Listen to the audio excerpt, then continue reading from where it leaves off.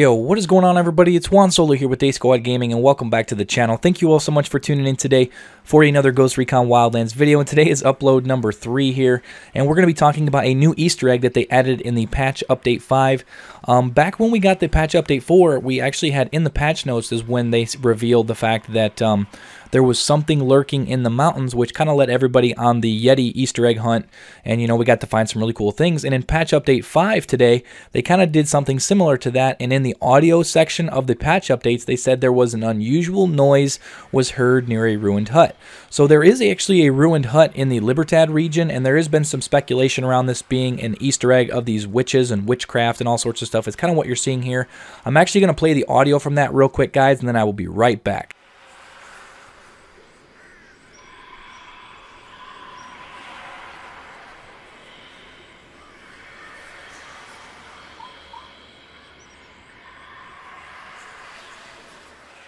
So you can't tell me that that doesn't sound creepy. You know, it just it's, it sort of sounds like spirits or the whole essence of you know witchcraft and everything like that. And there has been a couple other findings, and there's in this in this village that's right outside of here. There's a bunch of like llama um, fetuses, and they're actually used to kind of ward off you know evil spirits and stuff like that.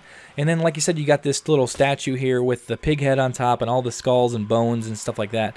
And there's honestly, there is going to be probably in the finale of season two um, there's going to be some sort of a hunt or an Easter egg hunt for this, whatever this is, uh, but we don't really have a whole lot of information on it. I know Carbon Meister, um, he's another YouTuber that does a lot of Ghost Recon and stuff. He does a lot of Easter egg stuff. I really don't have the time to put in, you know, to, to, to track down all this stuff.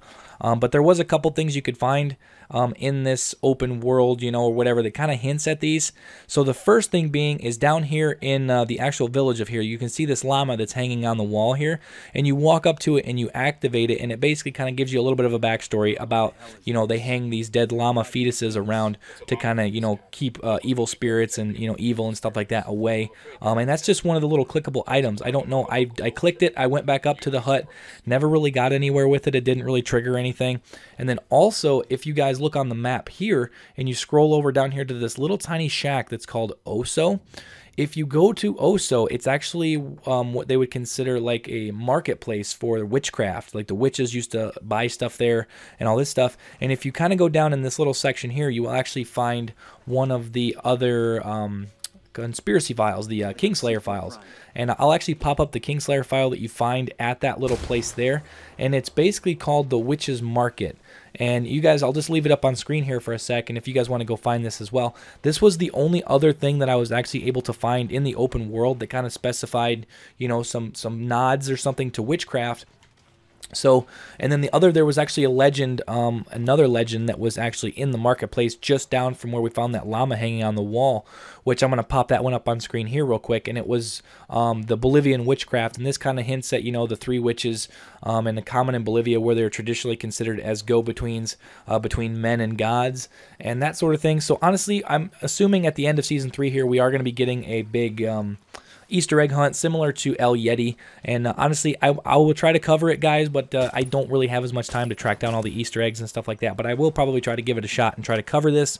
But that's pretty much all for the video, guys. I just wanted to touch base on that, let you guys know if you guys missed it in the patch notes, them stating that there actually was um, an unusual noise was heard near a ruined hut, which is kind of going to be leading towards the season two finale when we're probably going to be getting another Easter egg hunt for Ghost Recon Wildlands. But that's pretty much all for the video, guys. If you guys enjoyed it, make sure to drop a like on the video and subscribe and turn on notifications if you are new so you don't miss any of my uploads. Thank you all so much for watching, and I will catch you guys later. Peace out.